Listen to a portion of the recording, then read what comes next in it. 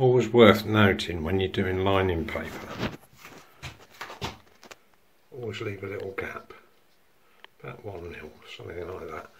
And uh, because if you don't, they tend to ruck up when they dry out. Good word, isn't it? Ruck up. And just use some very fine filler. And let that go off then, just lightly sand it. You only just enough to cover that gap. You know, fill it in. And I'll tell you what, you won't see where they join afterwards. I found this on the um, bedroom ceiling upstairs. I was really pleased with that. And I'm just waiting for this paper to go off, uh, dry out a little bit more, and then uh, I should put the filler down it.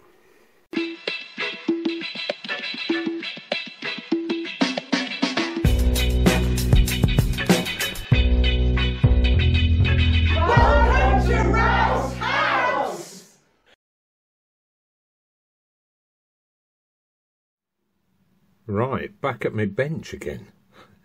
I'd forgotten about these. Um, when I was exploring all this 12 volt stuff, I came across these. And uh, I thought, well, they'd be handy because they give you 12 volt points. But how would you mount that in a room? And uh, at work, we've got loads of these. Um, they're scrap, by the way. Boxes of them. They're all going to go in a skip at some point. Uh, but I thought what I could do, I'll just disconnect this a second, is cut myself because I've got some um, quite um, sturdy plastic sheet. Well, sheet isn't the word, it's about, I don't know, six mil thick. It's pretty stiff stuff.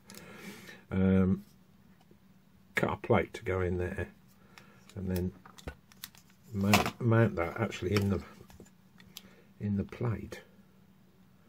And that way you could use a back box, a domestic back box, to house it. And uh, lucky enough, this plastic sheet that I've got, uh, it was my dad's, um, but it's green. I thought, how apt, you know, so you'd know it was 12 volt just at a glance because it's, you know, it's got a green backing to it. Um, yeah, that's how I'm propose to mount those. My only reservation with these is do I really need to display the voltage?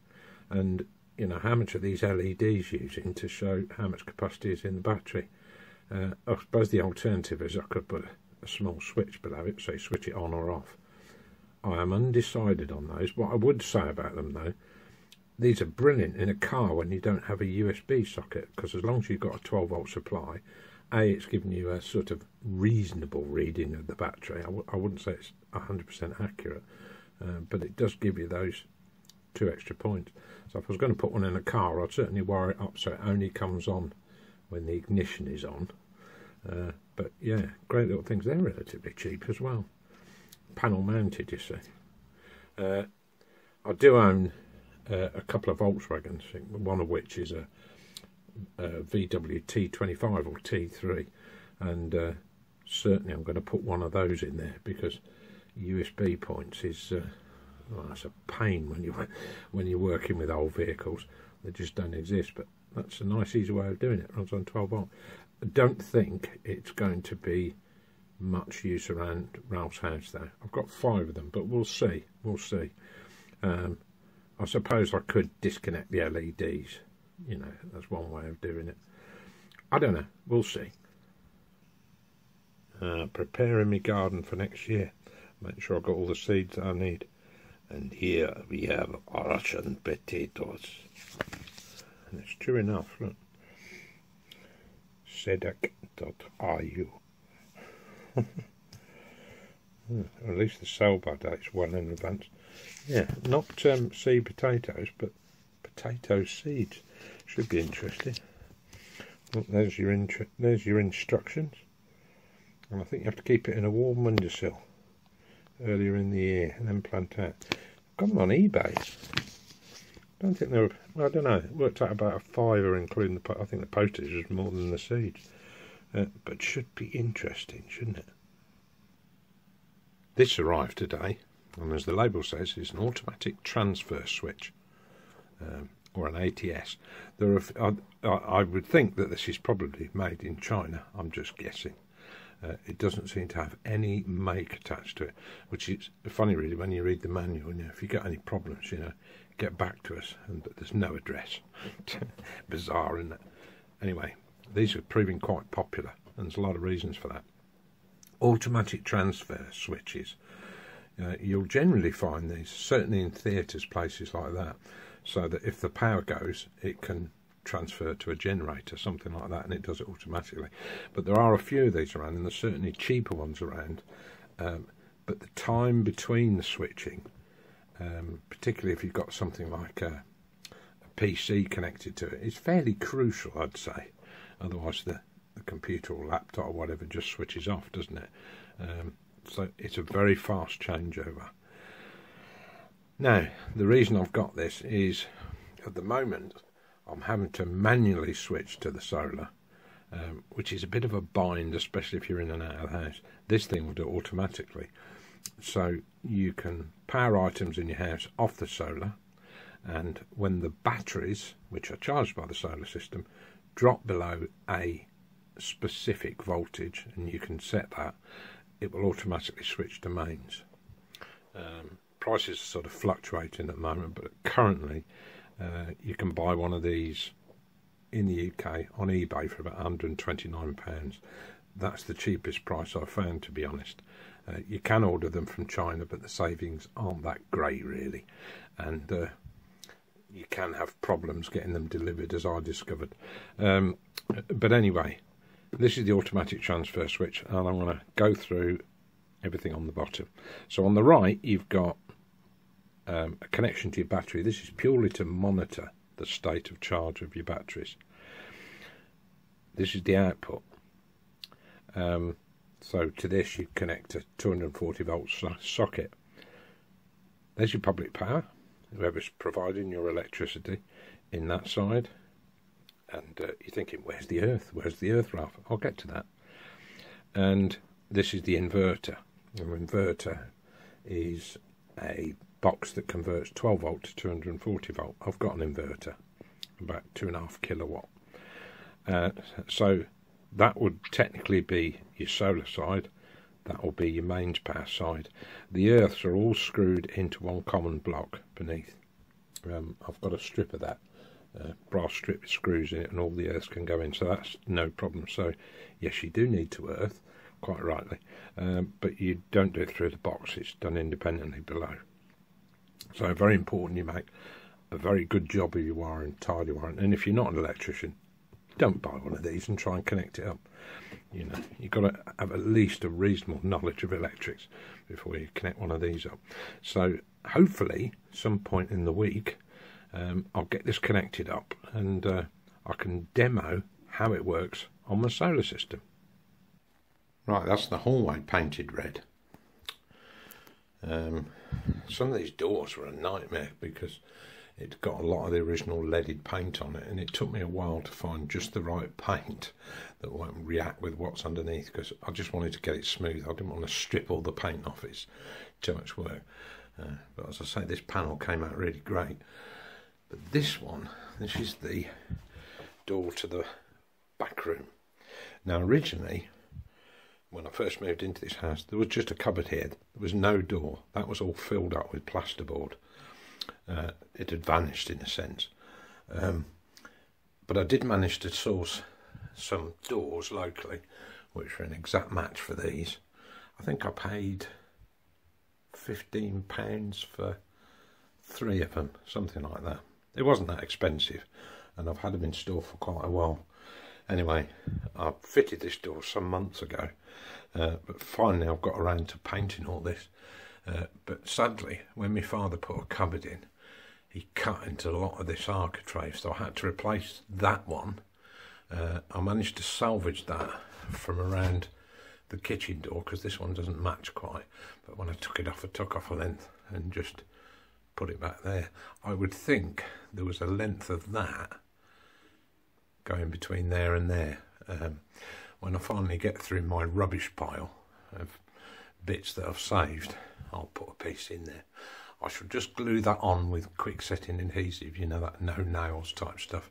I'm not going to bother trying to raw plug that to the wall. Uh, it's not coming under any strain. Um, but I am tempted to put some kind of shelving at the top of that because it's a bit of a wasted space. That, or I may just, excuse this wire, uh, I may fit another light here because this part of the hallway gets dark. So I think when those hall lights come on, a small light should come up here, but it's finding the right thing. In a way, I wish I'd managed to get three of those, but I could only get two, and I've got no chance of finding the third. As I say, it came out of a cinema in Wales, and my guess is they were probably built locally. Uh, great match for this, but um, yeah, I'm certainly going to need some kind of light around there. These door handles and the old-fashioned mortise locks, you can still buy them. Screwfix, uh, is it Screwfix? Probably Screwfix do them. Certainly Toolstation do them, and you can order these knobs. They're not in Bakelite anymore. They're in a, a sort of plastic, but they look good enough, I think, to be honest.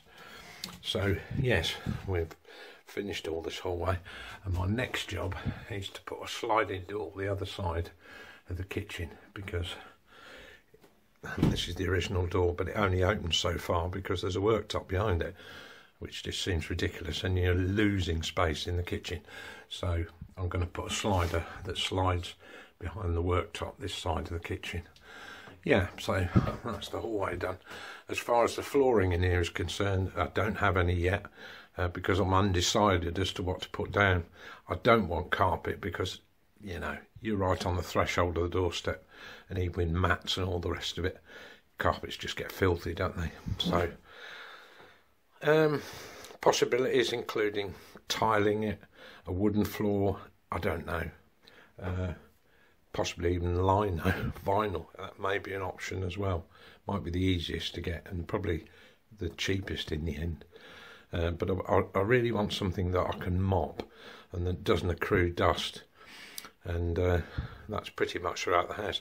And this back room, which between my son and I we've decided should be a little workshop, and actually it makes sense to do this room next because as I work on other bits of the house, I've got an area in which to work to cut wood or, or whatever. Um, and I'm going to put kitchen worktops all around this room because originally um, the idea was to change this back room into a kitchen and use the kitchen for something else. Um, but that plan's gone out the window. So we're going to change this into a worktop, uh, worktop room with a table in the middle of it, vice, various bits and pieces. So if you want to make something, and we're both artistic, so um, it would just be a nice area to work in. So you know, my son can say, "Look, I'm, I want the studio for the evening. That's fine. He can work away in there." and it'll have all light woodworking tools, no power, big power machinery, maybe a pillar drill at most. Um, but it'll give us a nice little area to work in and give us something to do in the winter as well. So yeah, I'm really pleased with these.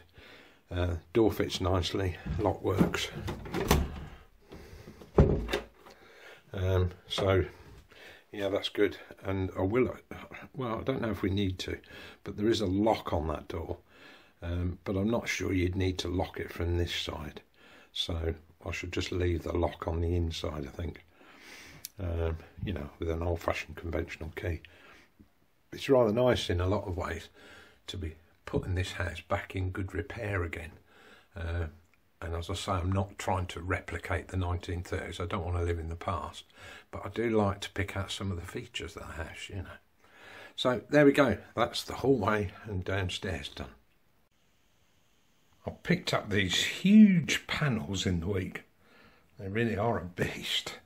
Um, they're 225 watt, 36 volt panels. Now, clearly 36 volt uh, isn't great for if you're running on a 12 volt system. It's way too high.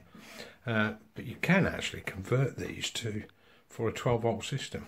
And what you do, this one is they're both up this is up that way and the other one's up the other way so if we look at the bottom yeah the top that's where the connections are made uh, but on this one uh, the connections are at the bottom and if we look across the middle of the panel because all of these panels run in series this will go up and down, right?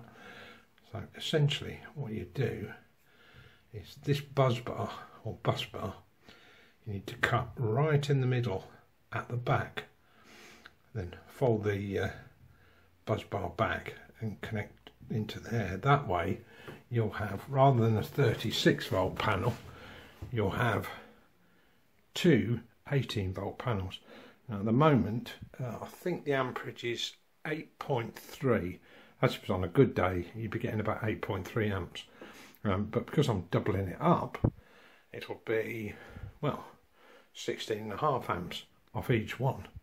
So combined, you know, that's quite a bit, isn't it? Um, well over 30 amps. Yeah, that would. These will make really good panels, and also I'll be able to run them um, alongside my others, or as an alternative. Even I could switch from one set of panels to the other, depending on what time of day it is.